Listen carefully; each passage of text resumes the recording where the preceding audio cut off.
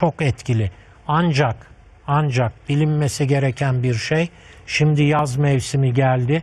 Hapşırmalar yani saman nezlesi başladı.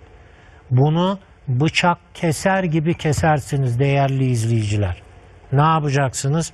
Taze tere, 2-3 yaprak taze tereyi ağzınıza alın ve bunu çiğneyin. Burun akıntısı, göz sulanması, burun içindeki kaşıntı, evet ne olacak? Anında yok eder. Anında dersem yarım dakika içinde. Dolayısıyla 2 saat sonra tekrar başlar etkisi gidiyor.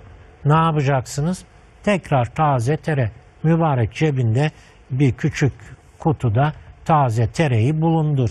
Hanımın hazırlasın, güzelce yıkasın. O şeyde dursun yani cebinde. Çünkü e, bu hapşırma var ya bu saman nezlesi çok sıkıntılı bir şeydir. İnsanları keyifsiz yapar, mutsuz olursunuz, işinize yansır, konsantre olamazsınız. Onun için taze tere. Kesinlikle.